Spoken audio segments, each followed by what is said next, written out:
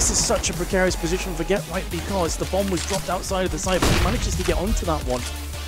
And still alive somehow. Meanwhile, you have to be careful because look at that from Karrigan. Slithering in to the tunnels. Bomb will be planted. Get Right, if he can get this first kill, he's got a chance. He's got a real chance at clutching this one out. In fact, both players will be coming through onto the tunnels, push together, and Get Right gets the first frag. You've got to be aware.